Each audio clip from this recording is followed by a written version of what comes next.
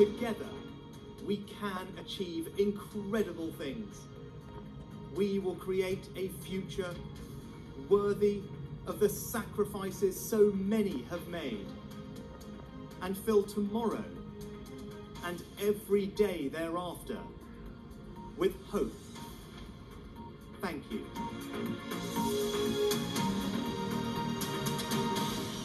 South Asian Prime Minister